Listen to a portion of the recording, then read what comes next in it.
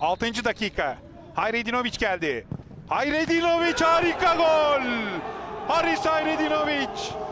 Ustalığını konuşturdu. Harika bir gol attı Hayredinovic. Duran topların usta ismi iş başında. Kasımpaşa 1-0 öne geçiyor bu golle. Hayredinoviç'in golü.